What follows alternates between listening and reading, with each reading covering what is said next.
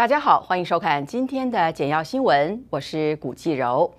广东省中山市星期四发生了暴力征地事件，当地村民星期五告诉本台，五六百名包括公安以及身份不明男子戴头盔、持警棍闯入该村，试图占据四十多亩的土地，近百村民上前阻止，遭到殴打，有二十多人受伤住院，有二十人被拘留。当地公安对本台证实有村民被抓。据中国媒体报道，赖昌星涉嫌走私案侦查终结，已经移交厦门检察机关审查起诉，当地法院也已经受理。七月二十三日，赖昌星由加拿大遣返回国后，厦门海关缉私局依法对他执行逮捕。经查证。一九九六年到一九九九年，赖昌星走私犯罪集团在厦门关区大肆走私，并且对数十名国家工作人员行贿，涉案金额巨大。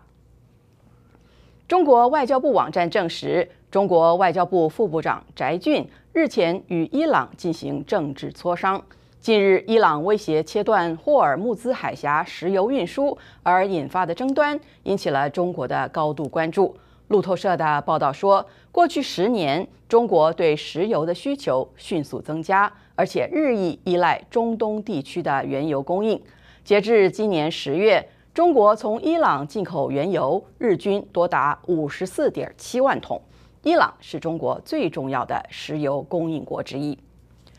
中国官方首度公开证实，新疆和田地区皮山县公安二十八日晚击毙了七名维族青年，原因是他们想要前往国外参加圣战训练。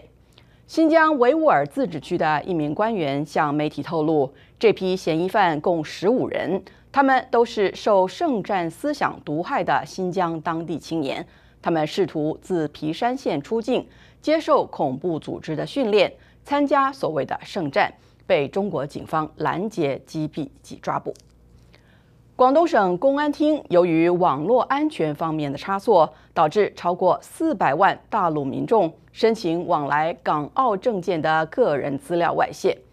据香港《东方日报》星期五报道，多达四百四十万人的姓名、护照号码、港澳通行证号码、申请日期。以及出生年月、联络地址和电话等个人资料都在官方网站上被公开，甚至有一些银行用户的卡号、密码等资料也被人放到迅雷网供下载。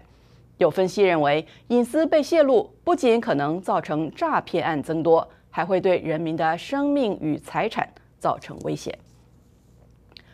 台湾的行政院大陆委员会香港事务局局长朱熹。新任香港驻台经济文化办事处主任梁志仁星期五代表双方政府在香港签订了台港新航约。过去台港航约都是由民间相关业者和组织来签订，但这次首度由双方具官方职务的代表签约。台湾的陆委会表示，这次签署的航约彰显了官方性质，也提升业者经营的便利以及旅客往来的便捷性。以上就是今天的简要新闻，我是古继柔，谢谢您的收看，再见。